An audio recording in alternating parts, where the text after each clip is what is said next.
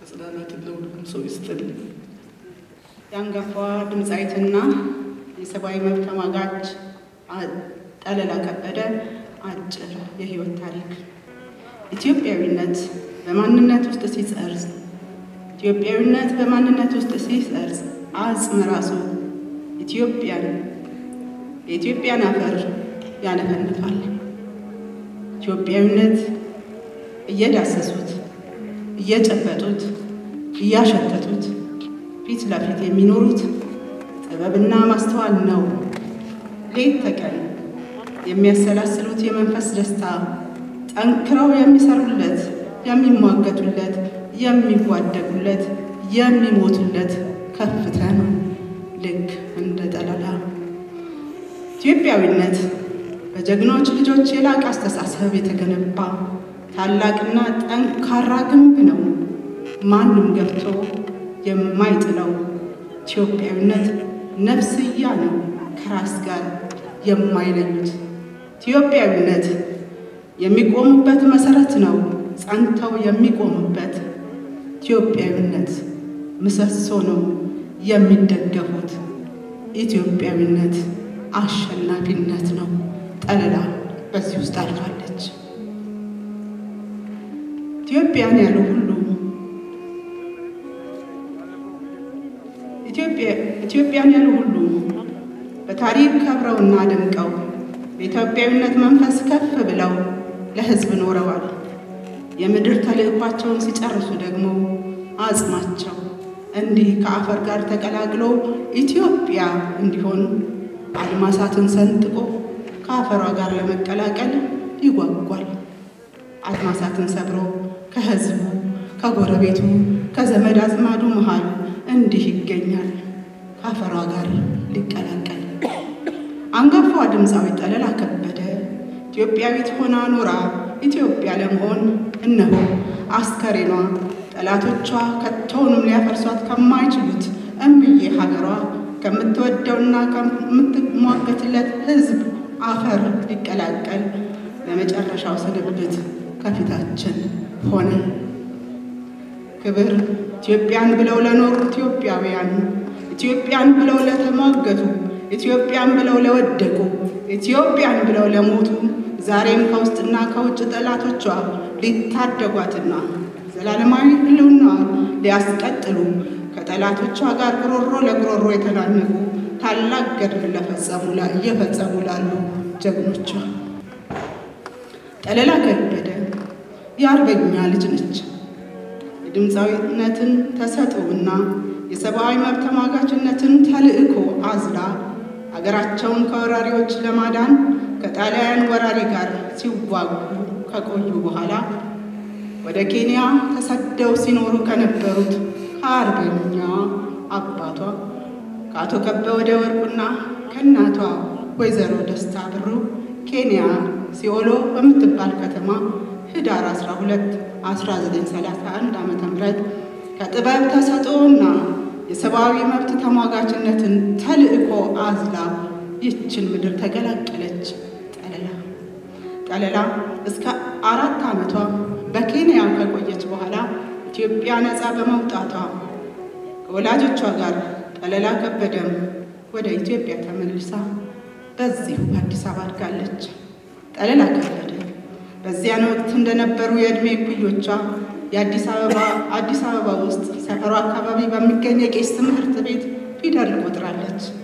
ሚስዮን ላዛርስት በአሁኑ ሴንት ሜሪ ተብሎ በሚታወቀው ትምህርት ቤትም እስከ አምስተኛ ክፍል በትምህርቷ ገብታለች።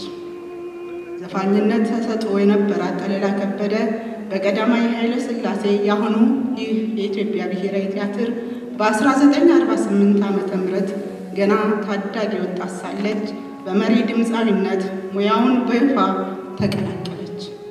በተዋናይነት፣ በተወዛዋዥነት፣ በድምፃዊነት ያገለገለችው ሁለገቡ አርቲስት ጠለላ ከበደ በተለያዩ ቲያትሮች ተሳትፋለች። ውድቅት፣ ሀሁ በስድስት ወር፣ ቴዎድሮስን ጨምሮ ከሰላሳ በላይ ቲያትሮች ላይ የተሳተፈች ሲሆን በፊልም ስራ ላይም እንደተሳተፈች ታሪኳ ያስረዳል።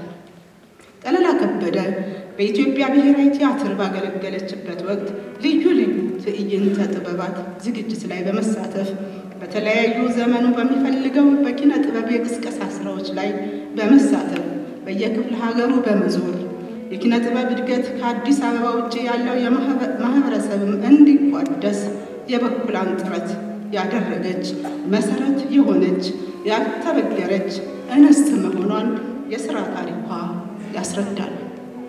ተግዳሮትን የመሸነፍና የማሸነፍና የማለፍ የመታገልና የመሟገት ባህሪዋ በስራዋ አካባቢም አብሯት የነበረ አብሯት የተፈጠረ ባህሪዋ እንደነበር ይኸው ታሪኳ ያስረዳል። አርቲስቷ ለሰላሳ ሁለት ዓመት በኢትዮጵያ ብሔራዊ ቲያትር ካገለገለች በኋላ መስከረም 1 1983 ዓመተ ምህረት ጀምሮ በራሷ ፈቃድ በጡረታ ብትገለልም በሌላው የህይወት ገጽ እንደገና ተገልጣለች። ከፍተኛ የሀገር የህዝብ ፍቅር፣ የዲሞክራሲ ፍትህና እኩልነት ለቆመችለት ዓላማ ወደኋላ የማትል ፍትህ ሲጓደል ድምጿን ለማሰማት የግንባር ስጋ የምትሆን የህዝብ ሰው ጀግና ነበረች። በዚህም በነፍሷ እየተወራረደች ሞግታለች፣ ለእስርም ተዳርጋለች። ሆኖም ነፍስ በፈጣሪ እጅ ናትና በዓላማና ከዓላማ ጋር የሰራት ፈጣሪ የእጁን ስራ እሱ በፈለጋት ቀን የእጅ ስራውን እንዲህ ወደ ራሱ ጠቅልሏታል። አርቲስት ጠለላ ከበደ በጎ አድራጊ ድርጅቶች ችግረኞችን በመርዳት በሚያደርጉት የገቢ ማስገኛ ዝግጅት እንድትሳተፍ ስትጠየቅ ጥሪውን በመቀበል በሙያም ሆነ በህዝብ አስተዋጽኦ ለህዝብ አስተዋጽኦ በማድረግ በገንዘብ አስተዋጽኦ በማድረግ ሰብአዊ ትታወቃለች። ድምፃዊት ጠለላ ከበደ አስር ልጆች፣ አስራ ስምንት የልጅ ልጆች፣ ሶስት የልጅ ልጅ ያፈራች ታላቅ እናትም ነበረች። ዞሮ ዞሮ ከቤት ኖሮ ኖሮ ከመሬት የሚቀር የለምና ድምፃዊት ጠለላ ከበደ ባደረባት ህመም ለጥቂት ቀናት በሕክምና ስትረዳ ቆይታ በተወለደች በሰማንያ ሦስት ዓመቷ በስደት ትኖርበት በነበረው ሰሜን አሜሪካ ሜሪላንድ ግዛት በተወለደችበት ቀን ህዳር 12 2014 ከዚህ ዓለም በሞት ተለይታለች። ጠለላ ከበደ ህዳር 17 ቀን 2014 ዓ.ም ከቀኑ 6 ሰዓት ለጠለላ ከበደ ክብርና ሞገስ ይህንን ፕሮግራም የኢትዮጵያ ብሔራዊ ቲያትር አዘጋጅቷል። የሀገራችንን ሉዓላዊነት ለማስከበር በህይወት መስዋዕትነት እየከፈሉና እየተዋደቁ ላሉ ለጀግናው መከላከያ ሰራዊታችን ክብር ይሁን። እሷም እንደነሱ በሞያዋ ጀግና ባሰበችበት ዓላማም ጀግና ነበረች። ሀገራችንን ከጠላቶቿ ለመታደግ መስዋዕት ለሆኑት ሰማዕታት ነፍሳቸውን በገነት ያኑርልን። አንጋፋ ድምፃዊትና ሰብአዊ መብት ታጋይ ጠለላ ከበደ ለቤተሰቦቿ፣ ለወዳጆቿ፣ ለዘመዶቿ፣ አድናቂዎቿና ለሙያ አጋሮቿ እንዲሁም ለመላው ኢትዮጵያ ሕዝብ መጽናናት ይሁን። ነፍሷ በክብር ትረፍ። የኢትዮጵያ ብሔራዊ ትያትር